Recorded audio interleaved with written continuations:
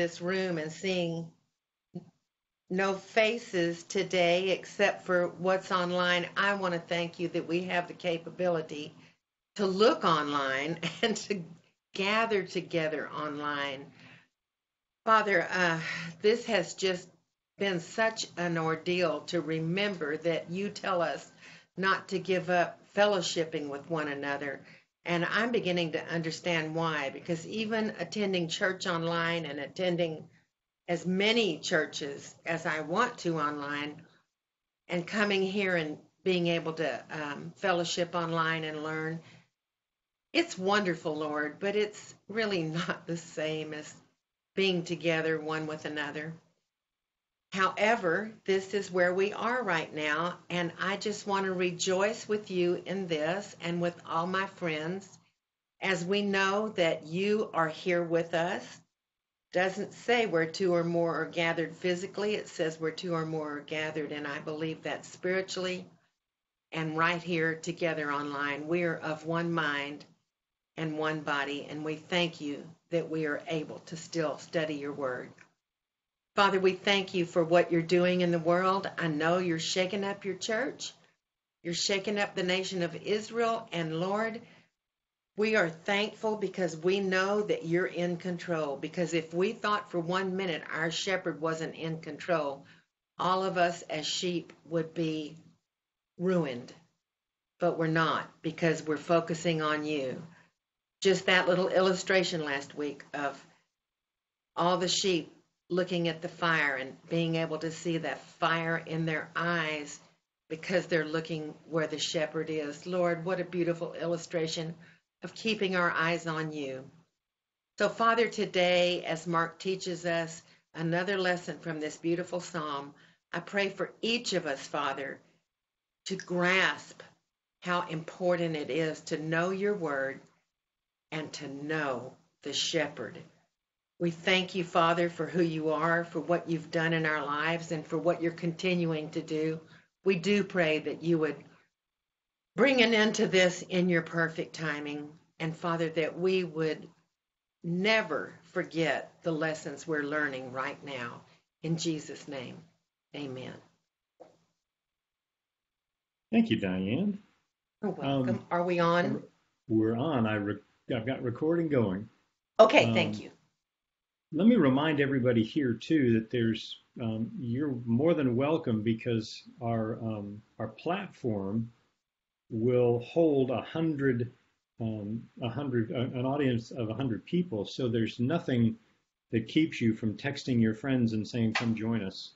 Um, you can send them the link and the email, and they can click on the link and just be part of it. So uh, we'd love to have you do that.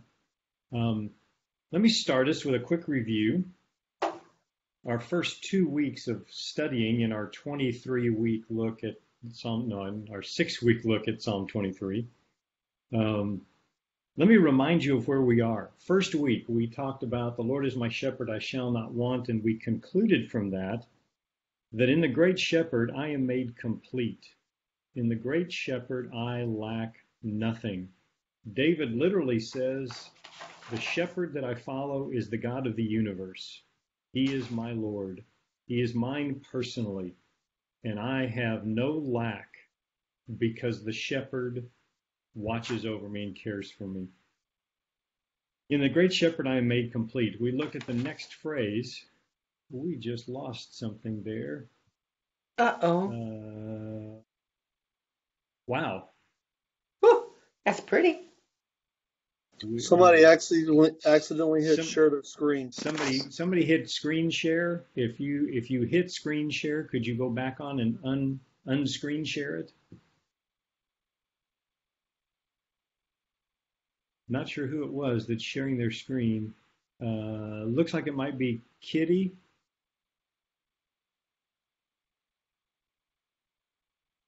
If you could go back and, and take off the screen share, the little thing that looks like a TV screen and un, unclick it.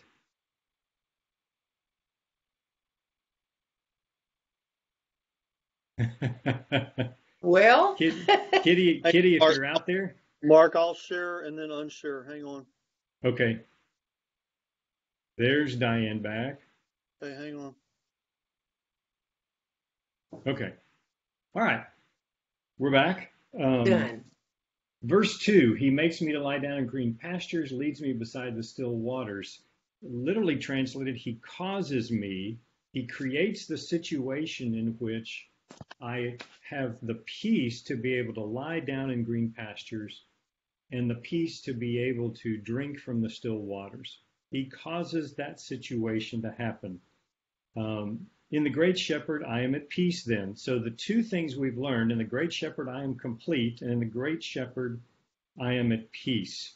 These first two wonderful statements from David, and remember where he is. He's writing this from a cave because Absalom, his son, is after him. The nation is after him.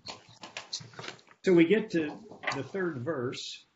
He restores my soul. He leads me in the paths of righteousness for his name's sake. This is a beautiful, beautiful next phrase, but I want you to notice the verbs that have occurred so far in this passage from David of what the shepherd actually does as the shepherd who cares. The first thing is the shepherd causes or makes me to lie down. The second is the shepherd leads. And now we get to the shepherd restores. The shepherd restores. He's, he causes, he leads, now he restores. He's provided food, he's provided water, he's provided rest, he's provided the environment in which his care becomes all complete for us. And now he restores me. If you look up the word restoration or the word restore in the dictionary, it says five things. First of all, the word restore means to bring back into existence or bring back to its original state. It can also mean to bring back to a state of health. It can also mean to be put back to a former place, something that's restored back to its original place. It can also mean to give back, to make restitution. You restore some wealth that has been um, taken away. And the fifth definition is to reproduce or to reconstruct, as in you reconstruct something, you restore it. Uh, if you're restoring an old building, you're reconstructing an old building. I have a personal, um, very significant personal story about restoration. And if you'll allow me, I want to share it. Um, not that you've ever not allowed me to share personal stories, but this one, this one happened. I was a senior in high school. I was playing basketball, and I've shared a few basketball stories in the past. I had a coach who believed in discipline. He was a fundamental coach. He believed in the fundamentals of the game. And back then, the fundamentals of the game was what was called man to man defense, meaning you had five people on one side, five people on the other side. You match up man to man and you guard them.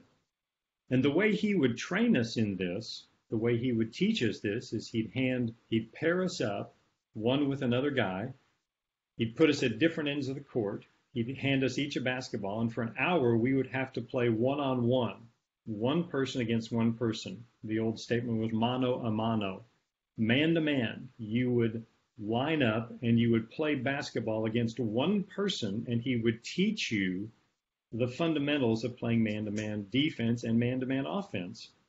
And it was it was grueling because playing solidly, being watched over and playing solidly for an hour was difficult. It was very very taxing. On this particular day, I was about five eleven.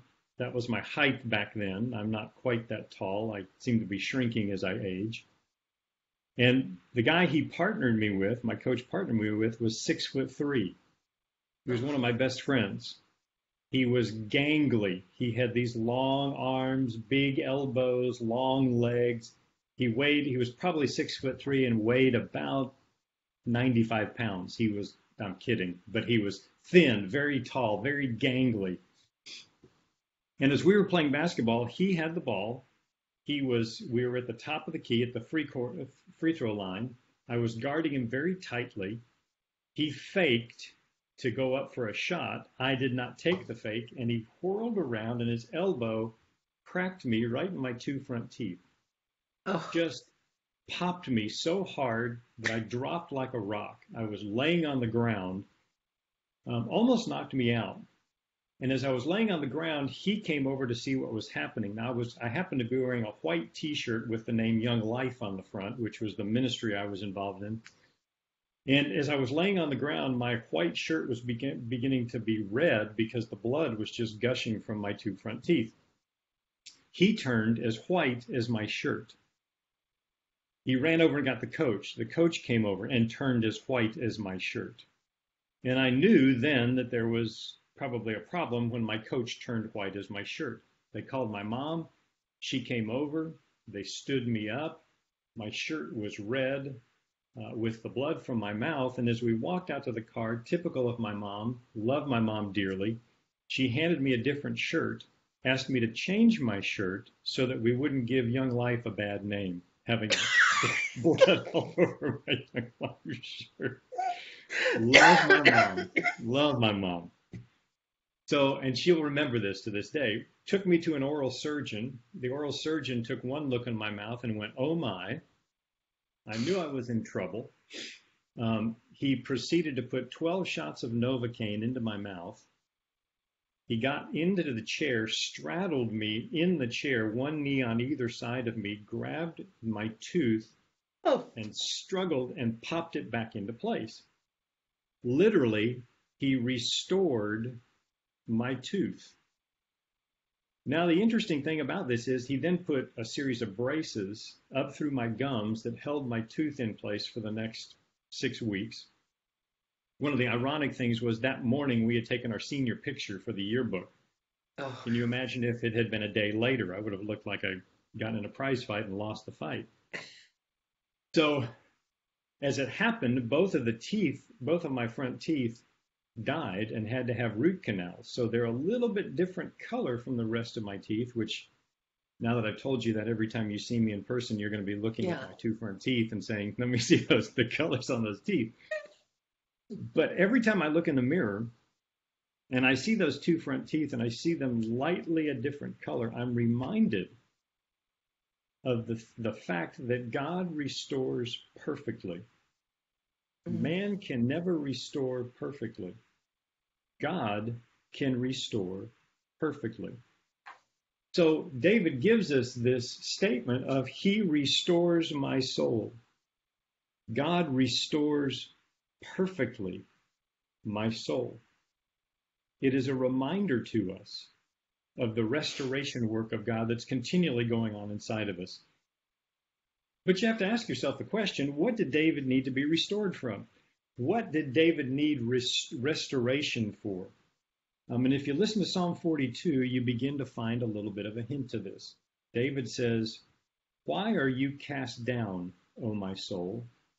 And why are you disquieted within me? Hope in God, for I shall yet praise him, the help of my countenance and my God. He says the thing that needs to be restored in him is his soul. His soul has been cast down. His soul is disquieted. This is a really fascinating phrase, the word cast down, because in, in terms of sheep, which we're now back to the whole point of our psalm here, in terms of sheep, the shepherd had to be on the lookout for a sheep who was ever cast down. The definition of being cast down, it's an old English term, and literally it means a sheep that has been turned on its back, completely onto its back, with its legs in the air, and it cannot right itself. Now, you and you and I, not being shepherds, we may never have seen this. The closest I can tell you is when if you've ever seen a turtle that gets turned upside down, it has a very difficult time righting itself. If a sheep gets cast down, a sheep cannot right itself. It cannot turn itself over. There's a this is a very difficult situation for a sheep um, for these couple of reasons. First of all, if a sheep gets cast down, turned on its back, its legs up in the air, the blood will rush from the legs and begin to settle into the chest cavity of the sheep. When the blood rushes from the legs, the legs fall asleep, so they can't support it and they can't move their legs. The second thing that happens is, as the sheep is cast down, it begins to build up gas in its stomach the stomach expands, and it can't breathe. If left long enough in a cast down state, the sheep will ultimately die because it will ultimately die of suffocation. It will ultimately not be able to breathe. Phillip Keller says this he says, A cast sheep is a very pathetic sight, lying on its back, its feet in the air. It flays away frantically, struggling to stand up without success. Sometimes it will bleat for a little help, but generally it lies there lashing about in frightened frustration. If the shepherd does not arrive on the scene within a reasonably short period of time, the sheep will die. This is but another reason why it's so essential for a careful shepherd to look over his flock every day, counting them all to see that they are all able to stand up on their feet and walk. So there are a number of things that happen um, in this whole prospect of being cast down. Um, the way it actually occurs is that after a sheep has been well fed, after a sheep has eaten, it will go find a little indentation in the ground and it will spread out as far as it can. It will stretch out as far as it can into this depression. The minute it begins to stretch too far, it loses its equilibrium and it will begin to flip over. If it doesn't catch itself, it'll flip over all the way onto its back into this depression. That center of gravity will shift. It loses its ability, the sheep loses its ability to understand where it is in space. It loses its equilibrium. It tips over and lays down on its back. When it hits its back, it begins to panic and begins to frantically claw at the air to try to get back. There's only one thing that the sheep can do in a cast down state, and that is hope that the shepherd comes. Mm. Now you go back to Psalm 42 and you hear, Why are you cast down, O my soul? Why are you disquieted within me? Hope in God. Mm. If you find yourself in a cast down state as a, she- as a sheep, you find yourself frantically clawing at the air on your back, there is one answer, and it is the certainty of hope in God. Now, the shepherd has to recognize a few things. The shepherd has to recognize that the sheep is in trouble. He must also find the sheep, and the, prospect, the, the process of restoration from the shepherd is this: he has to right the sheep. First of all, he has to calm the sheep while it's on its back. He has to bring a sense of peace and calm to the sheep while it's on its back. Then he has to physically right the sheep and then he has to massage the legs so the blood will get flowing back into the legs so the sheep will actually be able to stand. He must literally restore the sheep back to its original frame so hmm. that it can actually walk and it can actually do what's needed to be done. Now, there's a spiritual example of this.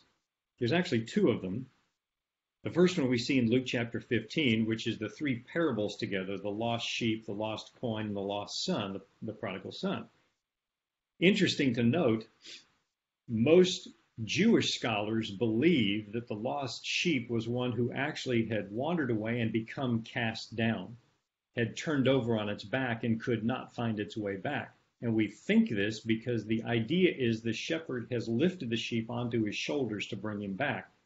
That it's very possible that the, that the sheep has, was not able to walk on its way back because it had been cast down for so long. The blood had rushed from its legs. The other example we get, and this is a beautiful one, is in John chapter 21. This is the story of Peter.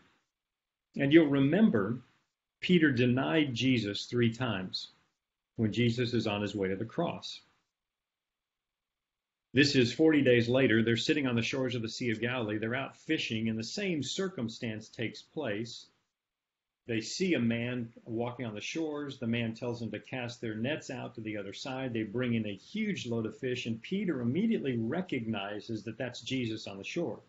He jumps out of the boat, swims to shore, and they're all sitting around the campfire.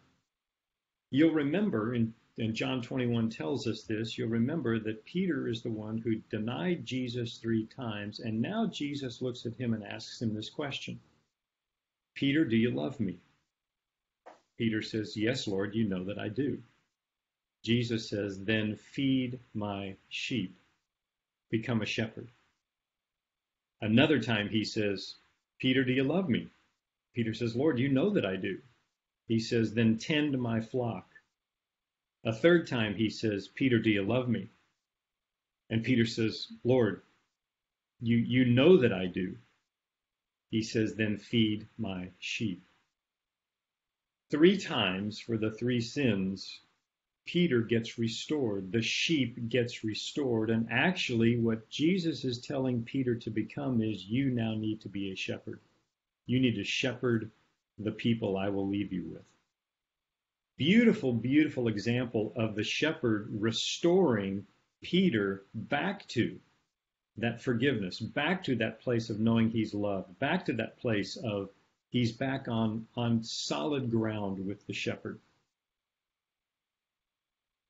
Psalm 56, verse 13 says this For you have delivered my soul from death. Have you not kept my feet from failing, that I may walk before God in the light of the living? The reason for restoration is so that we may walk before God in the light of the living.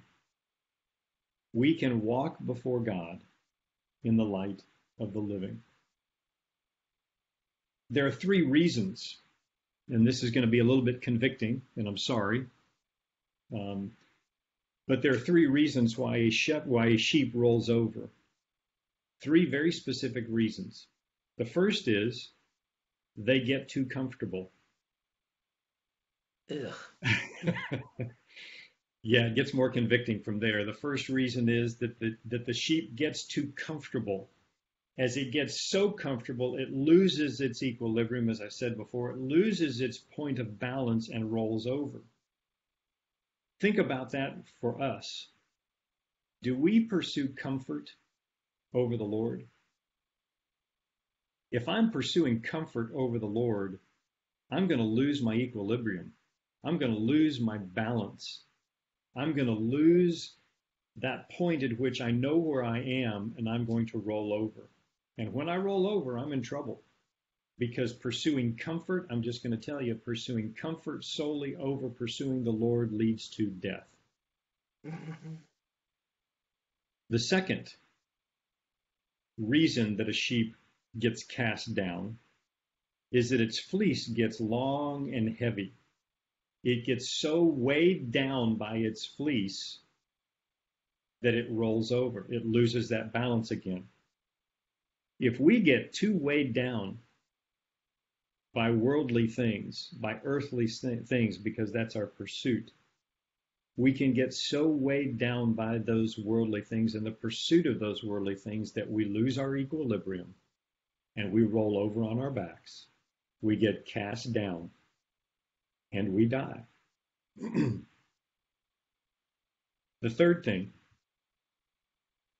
when a sheep gets too heavy, literally translated, when a sheep becomes unhealthy and unproductive,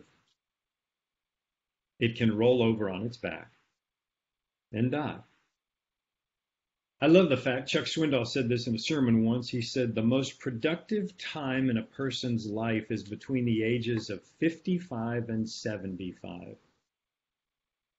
The most productive years of a person's life is between the ages of 55 and 75. He was asked the question, why? He said a number of reasons. First of all, you've gathered all of this lifetime of experience you have to put to good use. he said, second, your kids are out from under the house. You have more free time. You have more productive time. You have more wisdom. You have more age. You have more experience. he said the third thing that's really important to understand is that from the ages of 55 to 75, God's not through with you. The world tells you that they're through with you, but God says, I'm not through with you. And Swindoll says the most productive time of a person's life can be between the ages of 55 and 75 because all the encumbrances are off. You have the chance to pursue the Lord and pursue the Lord so fully and, and so completely. You, you have the opportunity not to become so weighted down with the worldly things. So the idea, first, the idea of this he restores my soul really goes back to the issue of being cast down. This sheep that gets turned over on its back and needs to be restored to its appropriate position. Now, the whole idea of restoration in the sheep has two other um, definitions, two other ways to translate it. The first one is translated in the book of what's called the Syrian Shepherd. The Syrians were, were well known shepherds, and they have this interpretation of this passage. The Syrian shepherd claims this. He says, the reference of this is to the fact that in shepherd country there are many private gardens and vineyards. And to a sheep, that's hallowed ground.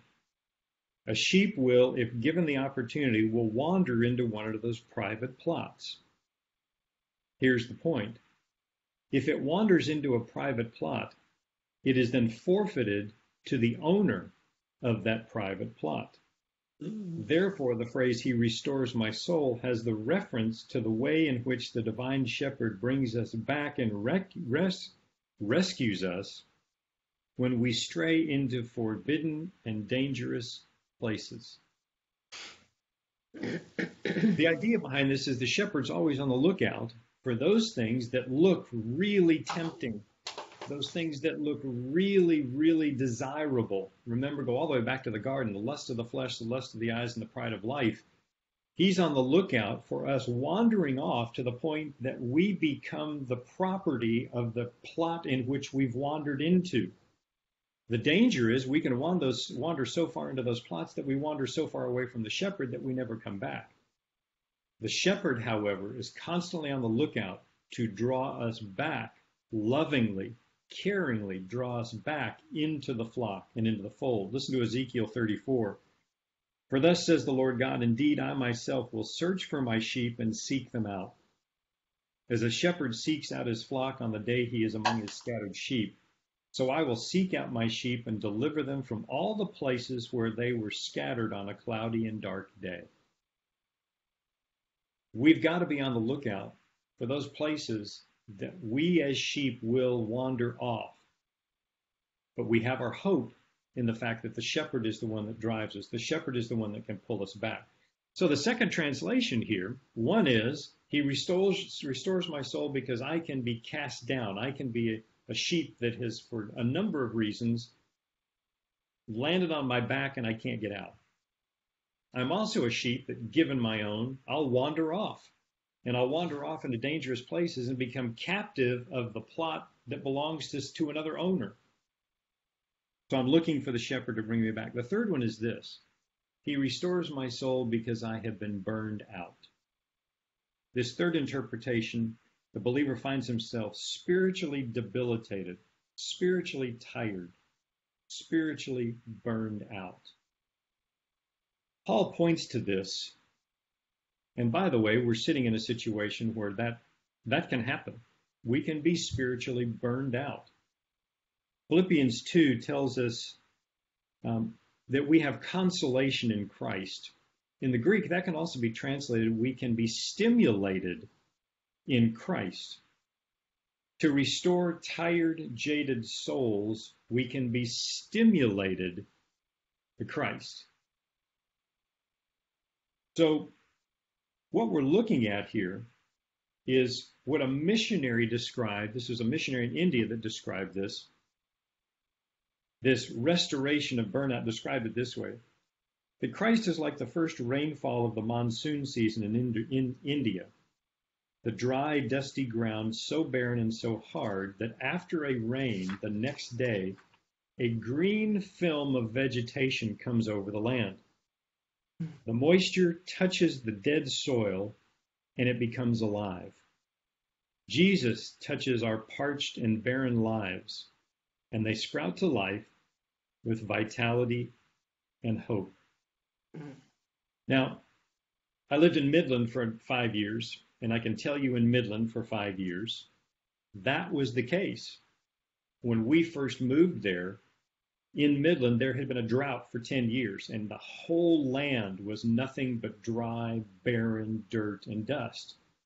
Our second year there, the city of Midland got four inches above its annual rainfall. Annual rainfall in Midland is 10 inches. 10 inches in a year. They got 14 inches that year. And the green that came across that land was magnificent. Diane and I were just talking about the fact that West Texas right now, even though the oil is going through a really tough, tough run, that there is green everywhere in the land.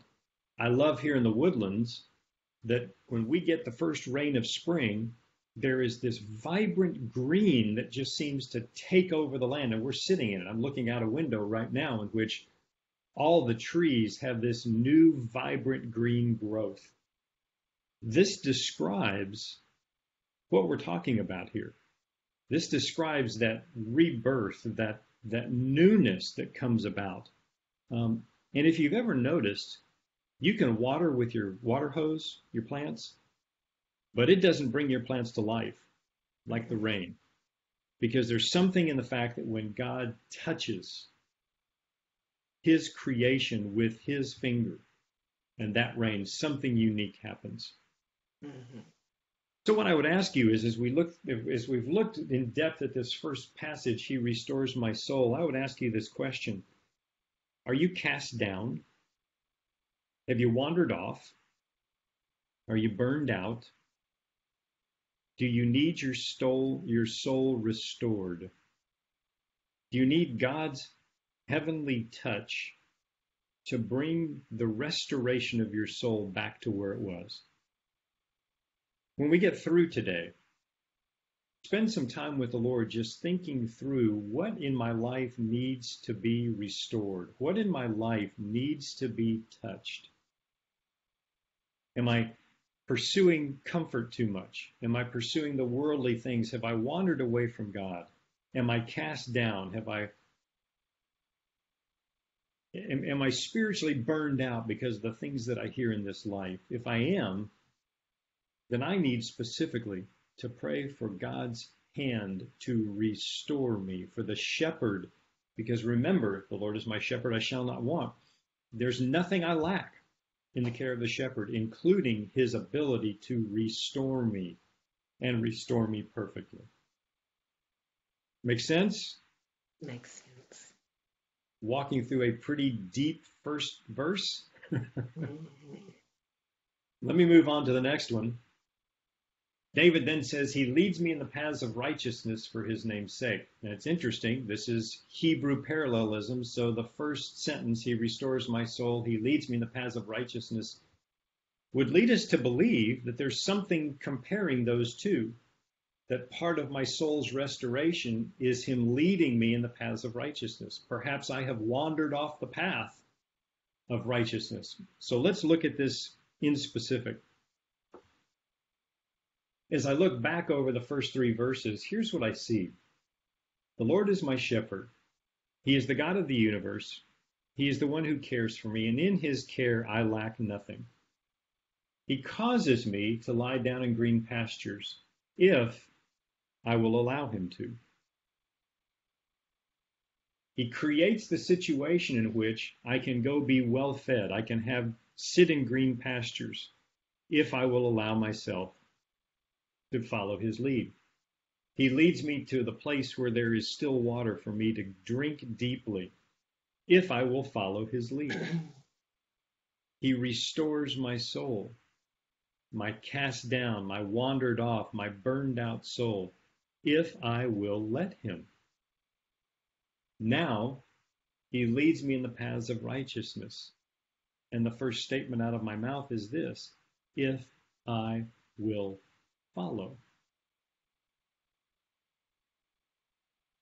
Paths of righteousness has this Hebrew translation. These are, uh, he leads me in the right path, or the paths that are right. These are the ones, and in the Hebrew, the, the paths of righteousness really means a clearly marked and well defined trail. The shepherd leads me on a well defined, well marked trail. He leads me on the paths that are correct. I've quoted Selwyn Hughes several times, this Welsh pastor from the early 1900s. He says this another convicting statement. Sheep, as everyone knows, are stubborn, self willed creatures. If left to themselves, they will almost invariably wander off in a direction of their own choosing. An experienced shepherd is well aware of this and tries to offset this tendency by going ahead of his sheep and making himself as visible as possible.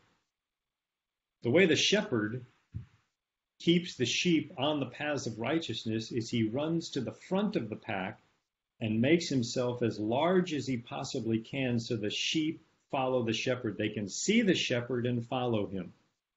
He makes himself visible.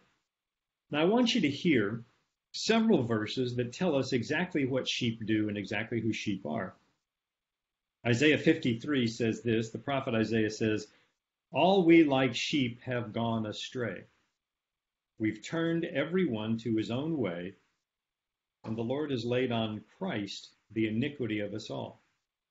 Every one of us has turned away. Every one of us has wandered off. Every one of us has gone the way we think we ought to go. Listen to what Proverbs 14:12 says. There is a way that seems right to a man, but its end is the way of death. Notice, there is a way that seems right to us. It's exactly the opposite of the way that God wants to lead us. And the way that we choose is the way that leads to death. John 10:10, 10, 10, Jesus said, I came that you might have life and have it abundantly. The way that we have life and have it abundantly is to follow the shepherd. We as sheep love to walk, love to walk off the path. Romans 3 says, There is none righteous, no, not one. There's none who understands, there is none who seeks after God. They have all turned aside. They have together become unprofitable. There is none who does good, no, not one. We're sheep. We will wander off if we don't follow the shepherd. The final one, Judges 21:25 says this, in those days there was no king in Israel and everyone did what was right in his own eyes. Take it to the bank. Sheep will not, if left to themselves, will not follow the path. They need to follow someone who is leading. The idea behind this paths of righteousness, and if you could see it in Israel, it's really a beautiful thing to see. On the hillsides, there are these crisscrossing paths all over the hillside. You can see it. If you just look up paths of righteousness, go do a Google search on paths of righteousness, and you'll see hillsides in Israel absolutely crisscrossing with all of these different paths. These are the well marked paths that the shepherds know take you from one water hole to the next. They take you from one green field to the next. They take you from one pasture to the next. These are the paths of righteousness. Caroline asked before we got on, how did they how did they get them down to the to the cisterns and the wells on well-worn, well-known paths? Notice, the shepherd has uh, the sheep have no idea what a path is. The paths of righteousness were for the shepherds to know which path to take them on. The shepherds knew exactly which path took you to the right watering hole and to the right pasture. These paths of righteousness were meant, the paths, the sheep trails were meant for the shepherds to know which way to lead. We have the great shepherd leading us, who knows exactly what the paths of righteousness are. And as a matter of fact, the theological point that we get from this is in Christ, his righteousness, because of his death and resurrection, and our trust and faith in him, his righteousness has been imputed to us. We now have the righteousness of Christ in us. So, because of that, the Holy Spirit indwelling us knows which are those right paths. He knows which path to keep us on, which path to lead us on. All of this, because it has been imputed to us, we will, if left to our own, if we don't yield to the Holy Spirit, if we don't follow Christ, we'll wander off on the wrong path. But the shepherd knows the right path, and it's the path of righteousness. This was well known to a Jewish audience because pursuing righteousness, this is exactly what they pursued. You get to the new covenant, which is the newest of the covenants. You get to the new covenant in Ezekiel and Jeremiah, and what you hear is, I will write my laws on their heart. That's when we understand what God is doing with us is He is taking the paths of righteousness that were in Christ and imputing them to us. So when we follow the shepherd, we know we're on the right path. We know we're on those paths of righteousness because it's the shepherd who knows them and is following and leading us on those. We can walk that way. Now, different from from the rest listen to philippians 2.13 therefore my beloved as you have always obeyed not as in my presence only but now much more in my absence work out your salvation with fear and trembling. For it's god who works in you both to will and to do for his good pleasure. Here's the point. Paul tells us work out the salvation that you received from jesus christ. Work out how it looks in your life Work out what those paths of righteousness are. Work out how you follow the shepherd in your daily life. Work out how you yield to the Holy Spirit in your daily life. You have his righteousness in you. Let that lead you. Let the shepherd lead you. Follow the Holy Spirit in this. He's made himself very big and very visible out in front. the question is, will we follow the shepherd? He knows the path. He knows where to lead us. He knows to lead us to life. He knows to lead us to the good, clear water. He knows to lead us to the pastures. Are we going to follow him? Mm. I love the story that E. Stanley Jones tells. It's a missionary who got lost in the African jungle. And he's hacking his way through the jungle and he finally comes into a clearing. When he reaches the clearing, there's a couple of little huts in the clearing and he goes over and he knocks on a door the man comes out, and in kind of broken language, the missionary asks him, Could you please show me the way out? I'm lost. I don't know where the path is. I can't find my way out. The man looks at him and says, Fine, follow me. As they begin to go through the path through the jungle, he's hacking away. The, the, the guide, the, the native, is hacking through the jungle. And as he gets Finally, about half an hour into this jungle, the missionary stops him and he says, I'm looking around and I don't see a path. You just seem to be cutting branches down. Are we still lost? Where is the path? And the man stops him and looks at him and says, Out here, there is no path. Out here, I am the path. Oh, wow. Christ is our path. Even when we can't see the trail, Christ is our path. He is the one we need to follow. And what we need to understand is where he leads, just so you've got it clear, where he leads is where there is cool, clear water. Where he leads is where there are green pastures. Where he leads is where the good shepherd is. He leads you back to himself. Keller says this, Phillip Keller, who wrote the little book, uh, uh, Shepherd Looks at Psalm 23. Whenever the shepherd opens the gate to a fresh pasture, the sheep are filled with excitement. As they go through the gate, even the staid old ewes will often kick up their heels and leap with delight at the prospect of fresh feed. How they enjoy being led to new ground. Mm-hmm. I would ask you the question Does that describe you? Does it describe me? Am I looking for the opportunity every day to feel this way with excitement in my relationship with the Lord? Selwyn Hughes says it this way God wants us to move with Him day by day to discover new insights and fresh revelation as He opens up to us the glories of His precious Word. Every Christian should meet the day with as much delight as the sheep that is being led to new pasture. Mm-hmm. Spiritually, we should kick up our heels and leap with delight at the prospect of finding fresh food. Expect God to show you some new insight day by day. Faith is expectancy. According to your expectancy, so it will be unto you. The shepherd says, I will restore your soul. The shepherd says, I will lead you in the paths of righteousness. The shepherd says, I will bring you to new pastures, to fresh waters, if you will just follow me. Am I expecting the shepherd to do that for me? And when he does it, how do I respond? Do I recognize it? And do I respond? I know in this time period it's hard because, I, and I agree with Diane in her prayer.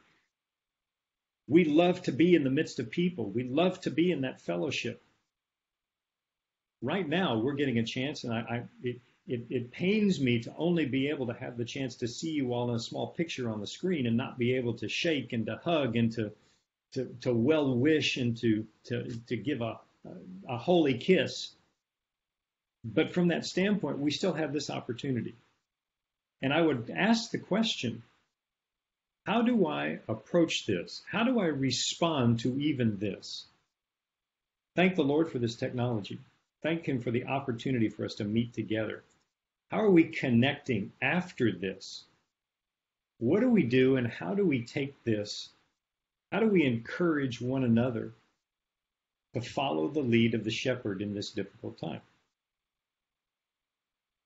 The last thing he says in this passage, he restores my soul. No matter the condition of my soul, he restores it, he brings it back. He leads me in these paths of righteousness. The shepherd knows the paths. He takes me along the path. In fact, he's imputed that righteousness into me. And he does it for his name's sake. Dr. A. A. Anderson says this. He says he acts for the sake of his reputation. God acts for the sake of his reputation. In other words, the lives of the sheep reflect on the care of the shepherd. I want you to ask yourself one more difficult question. How am I reflecting the care of the shepherd in my life? Does my life to anybody else show the care of the shepherd? We do this.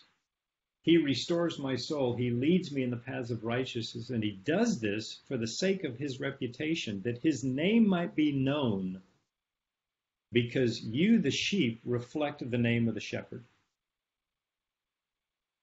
The people around you, the people you interact with, the people that you connect with, your family, your friends, they know the shepherd because of you. They know the shepherd because of how the, the care of the shepherd is reflected in your life. How am I reflecting the care of the shepherd? How am I how am I keeping his names his name safe? How am I reflecting the name of the shepherd caring in my life? So with this third verse, we get this final statement in the great shepherd, I am restored and I am made righteous.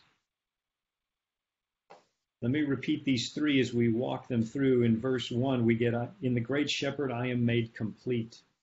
I lack for nothing. The second verse, In the great shepherd, I am at peace. In the great shepherd, verse 3, I am restored and made righteous you could really put a period at the end of the first three verses and just shout and sing praises to God all day long for the fact that you are made complete in Him, you are at peace in Him, you have been restored and made righteous in Him. And in that, we could say, Lord, I don't need anything else. David's not done with the care of the shepherd, but right there is enough to just sing his praises all day long. In the great shepherd I am made complete. In the great shepherd I am at peace. In the great shepherd I am restored and made righteous. Questions, thoughts, comments? Unmute yourself if you got comments yes. or questions. If you have a question or comment, unmute it and, and ask away. We'll we'll open it up for about five or ten minutes. I've got an amen on, on chat.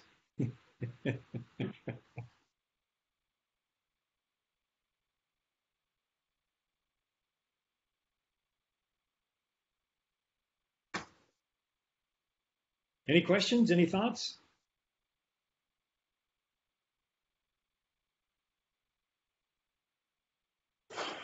Hello, this is Jason in Colorado. Hey, Jason. Hello. Um, during the restoration process, um, it's kind of a twofold question. Can it be painful? And the second one is, um, you kind of answered it earlier. When we can't see, just put your hope in Christ and follow that. He is the path. yes. But a lot of the times I struggle with how do I determine which way to go? Let me answer your first one first. If you remember what I said about the sheep, that when they're when they're cast down, they're over on their backs, and the blood rushes from their legs. Have you ever had your arm or your hand fall asleep? Yes. Okay, so is it painful when the blood begins to rush back into your hand? You feel the needles and the pins. and it's it more painful when, yes. mhm. Yeah, yeah. Um, to answer your question, yes, sometimes restoration can be painful. Um, I would also challenge us and understand that many times the lessons that we need to learn are only learned through that kind of pain. Um, Christ never promised that the Christian life would be easy. He promised that he would be with us. So, with that, it's a great, great question. Yes, restoration can sometimes be painful. I will tell you, I'll just go back to the story of my tooth. Uh, 12 shots of Novocaine in my mouth to restore my tooth back, and then six weeks of braces through my gums. That was not a fun experience. Um, but here I am, you know, a couple of years later from my high school years. And uh, my, Diane, you're not supposed to laugh at that. Uh, and my two front teeth are still in place, a little bit yellowed, but still in place. Restoration can be painful, yes. Second question, um, and and maybe even more to the point, how do you choose the path? Um, lots of prayer, continuing to lean on Him, understanding that if you take a wrong step, He will pull you back. Um, but the, the total point of, of making those steps and, and moving one step at a time is you're following the shepherd, not taking your eye off the shepherd, watching him, following him, a step at a time, not a leap. Remember that, that the Christian walk is a Christian Christian walk, it's not a Christian sprint. And a walk is a step at a time. It is patient, slow, methodical, one step at a time. Um, how you know? My experience is you know when you've stepped off. You know when you're on the wrong path. Remember, you have the Holy Spirit indwelling you. Completely rely on being yielded to the Spirit, and He will direct you appropriately. Good question. Thank you. Yeah. Other questions?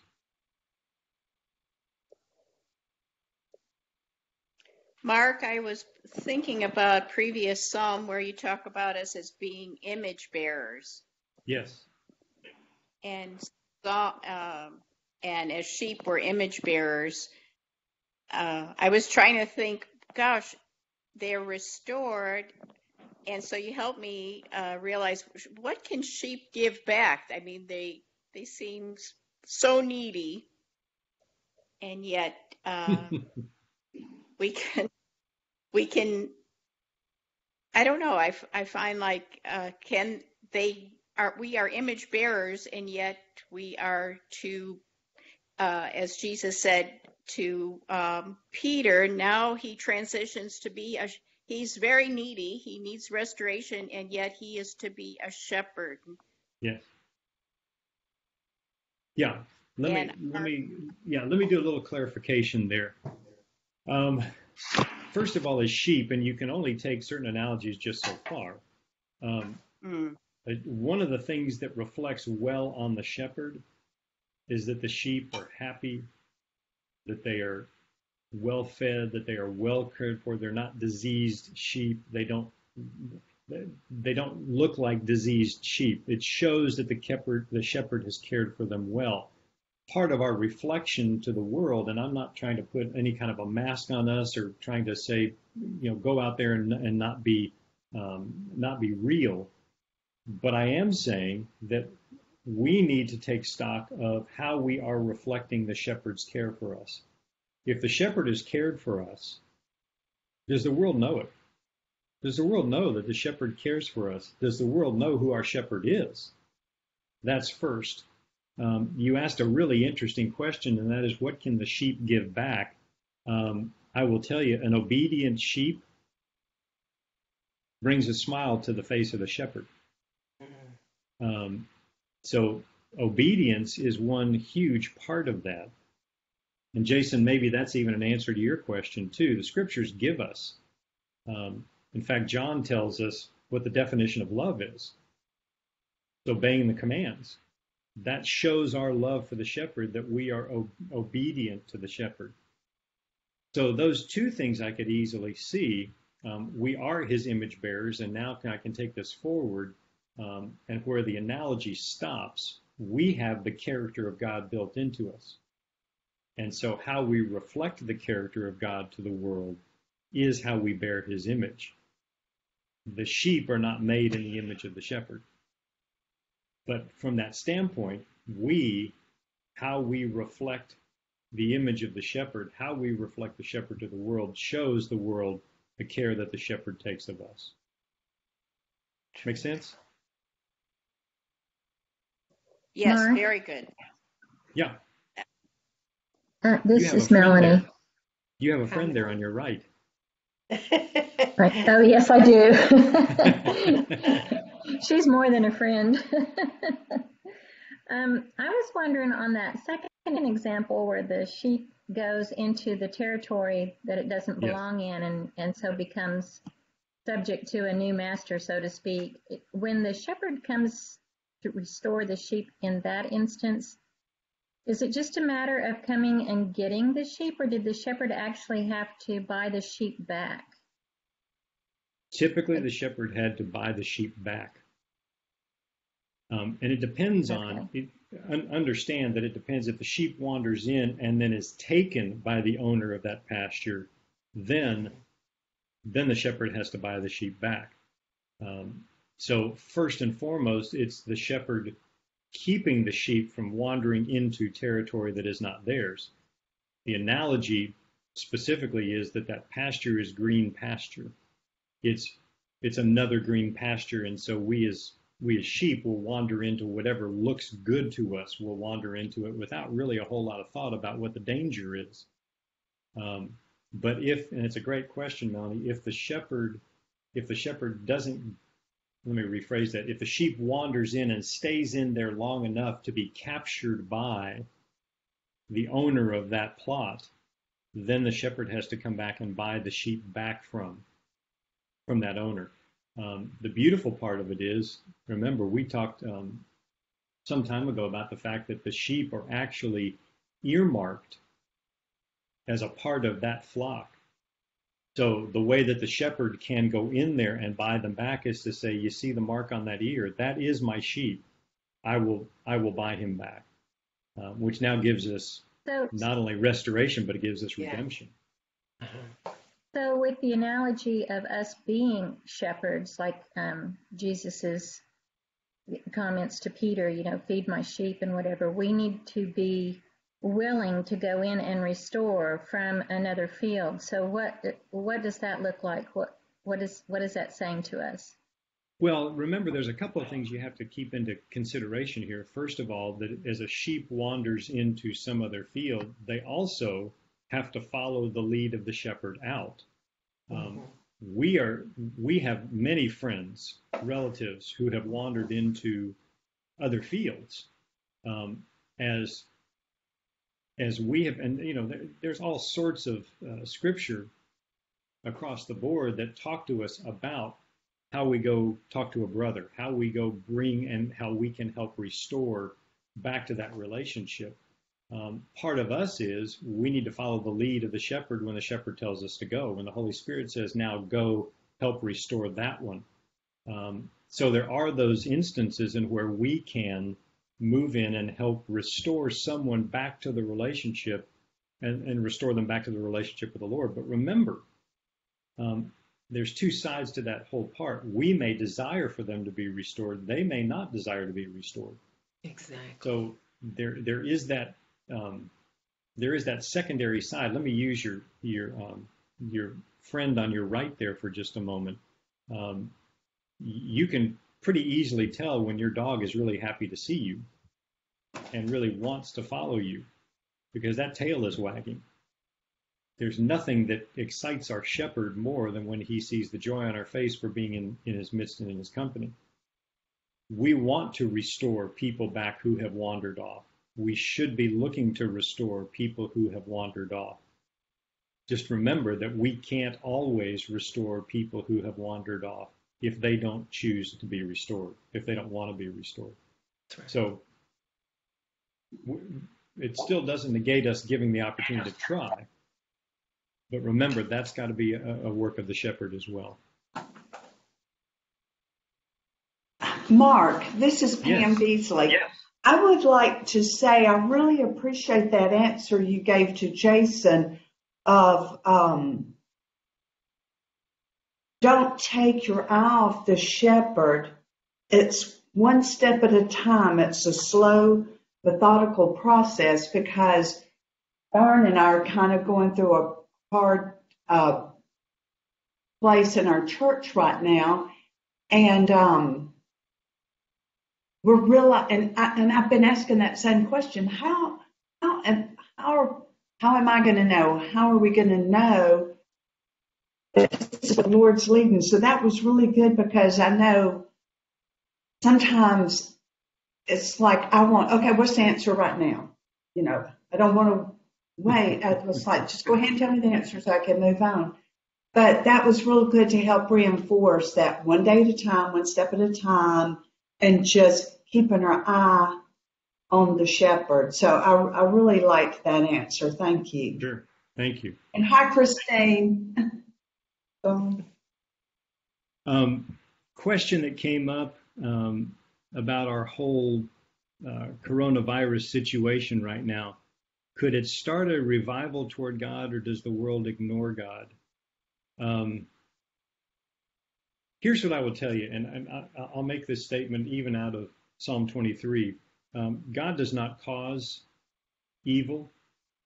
God is a God who is a good God. He does not cause evil. But in his creation, God takes responsibility for what enters into his creation. This is the exact same thing that the shepherd does. The shepherd doesn't bring evil into the flock. But if evil enters the flock, the shepherd has the responsibility for, for getting for taking care of that evil to the best of the sheep. This whole dilemma we're sitting in today, I don't even want to begin to speculate. Uh, questions like, is this something of God's judgment on us? Is there something there? What I want to what I want to focus our attention on is what is God wanting to teach you in the midst of this particular situation? Um, this may be one of those, Jason, where it's where restoration is going to be painful for this nation, maybe painful for this world to be restored, and our restoration may look different. Um, but I will tell you, I, the world does more and more and more and more ignore God.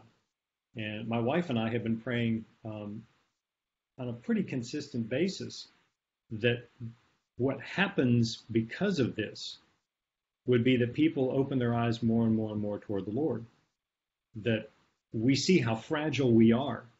We see how something like a virus can absolutely turn our world upside down. And we, we, it is our prayer that we begin to see the magnificence of God. And think about from this standpoint the magnificence of God in the fact that something as small as a virus can absolutely turn our world upside down. Imagine what our faith and trust in the God of the universe can do to this world. Could restore it and right it beautifully. You talk about the faith of a mustard seed. Uh, a virus is a whole lot smaller than a mustard seed. That much faith in the Lord could absolutely turn this world on its ear. Um, and perhaps that's what the Lord is doing. I would I would start this uh, not quite on such a grand scale in terms of the discussion. I would start this on the discussion of in the midst of this, what is God desiring to do to me?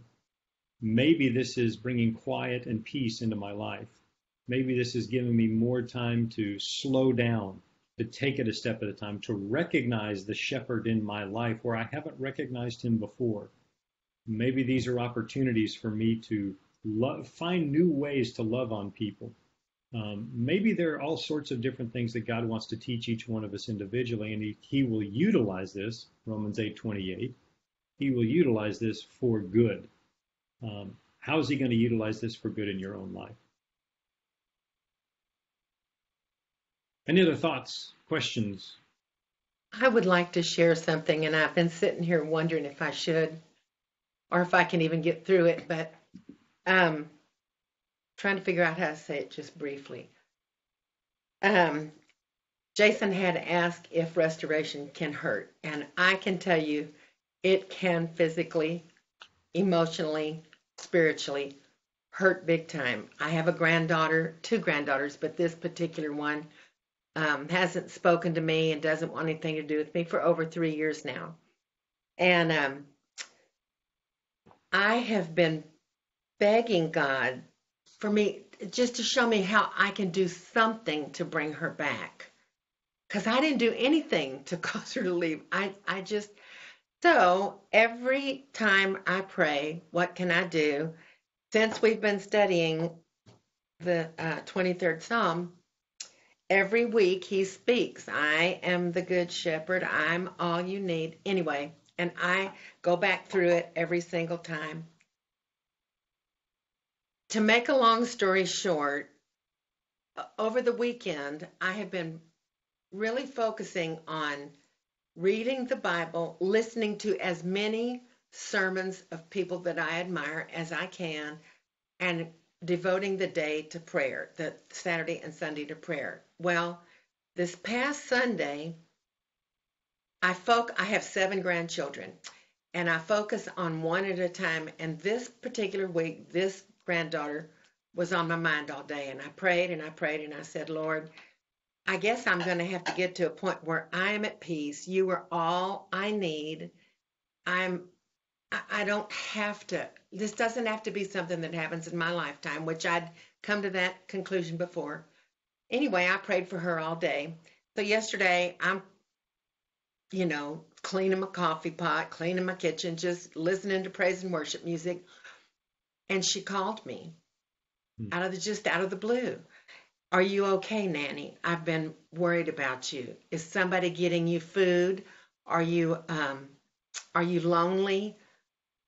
I, I just, I was just so blown away. And I real quietly, calmly tried to say, Oh, yes, I'm just, I'm not lonely. I miss people because you know I'm an extrovert, but how are you? And she said, Well, I've really been worried about you and thinking about you. And I just want you to know how much I love you. And I'm thinking to myself, if I hadn't listened to what the shepherd said to me about leaving it in his hands. I mean, there's just a whole bunch of stuff he said.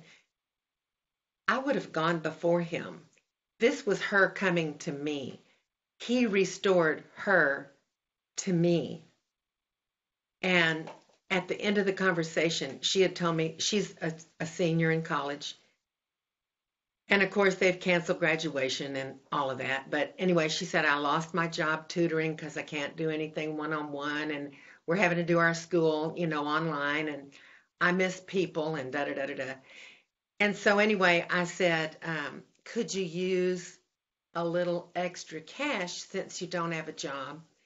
And she said, oh no, I would never take money from you after just coming back to you. That's not mm. why I came back. I came mm. back because I love you and mm. I miss you.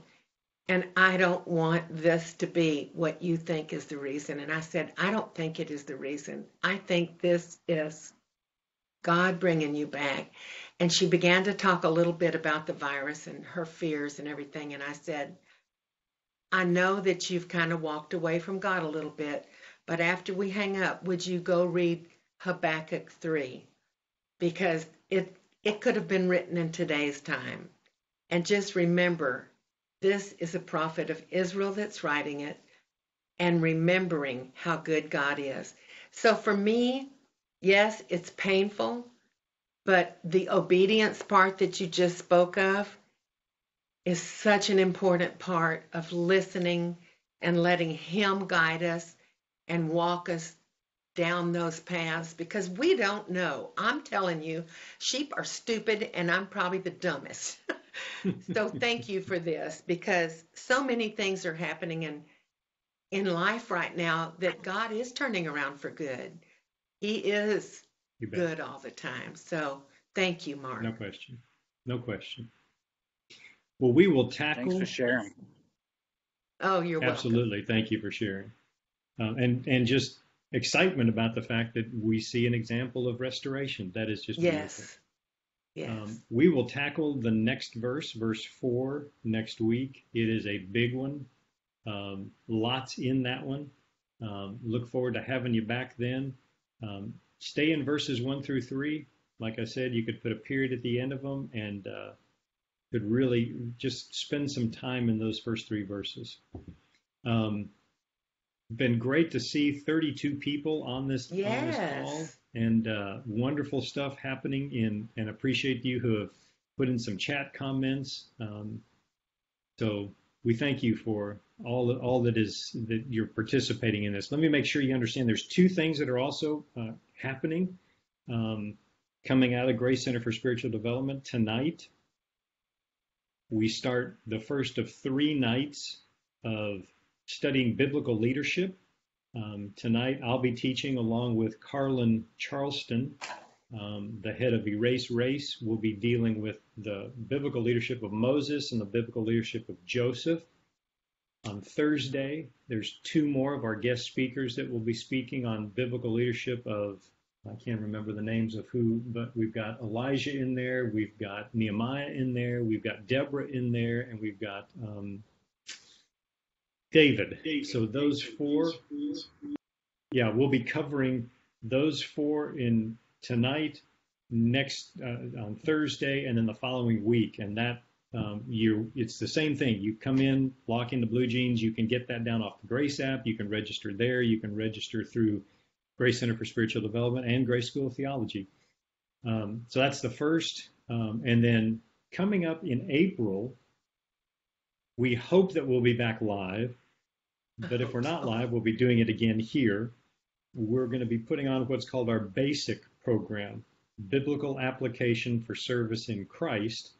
And we're going to be dealing with the basics of Bible study, the basics of theology, the basics of discipleship, the basics of grace. Um, those four issues we'll be studying uh, in depth going into the month of April. So, uh, and I think Shamika just put up on the chat where you can register for the Biblical Leadership Series. Thank you, Shamika. So if you go to the chat area, you can check into those and, and uh, sign up for that tonight, Thursday night, and next week. Um, Okay. I Mark, think that's and it. then- Daniel, yeah. Hey, you Maria, just logged on. Jasmine, Jasmine was just giving you a shout out to Basic. I don't know if you saw that, but Jasmine was holding up her Basic study guide that she has. Oh, there it is. Hey, we have we have an alumni. That's right. So ja- yes. Jasmine has been Yeah. through the study. And then the other one I was going to mention, um, hopefully everybody got an email, but next Wednesday, April 8th, and then the following Wednesday, April 15th, Oh, Diane right. just mentioned Habakkuk, and Dwight Edwards is going to do a two week Bible study specifically on Habakkuk that is dealing with um, going from being a worrier to a worshiper. And so it's specifically for kind of the COVID crisis that we find ourselves in. And so that would be another one to look out for since everybody is doing such a good job on using their uh, Blue Jeans Absolutely. to log on live and participate. Um, there's another Wednesday Bible study opportunity for you coming up. So tune into that one too. So you got three Excited things as well that. as as well as staying a part of this. So we've got three more weeks in this wonderful wonderful psalm, um, and you've got the biblical leadership series, you got the basic program, and then the Habakkuk study. So a lot of stuff coming your way that you can log on to just like you've done here. Yes. Let me pray for us, and we will conclude. Father God, we thank you for the incredible words from your servant David. The incredible words that tell us in you we have completeness, wholeness. In you we have peace. In you we have restoration. We have righteousness. That you have given us the great shepherd, and he stands visible in front of us for all of us to follow. Lord, I pray we would be followers of the shepherd. and that you would lead us in these difficult times, that you would lead us to what you tell us is important and what you tell us is important about life, the following of you and moving us to be more in your image. God, show us the people you want us to touch this week. Show us the people that need restoration. Show us what you need to restore in our own lives. And we ask you to do that work for your glory and your sake. In Jesus' name. Amen. Amen. Thank you all for being a part. We'll see you next week and hopefully see you tonight. Yes. See you next week. Mark.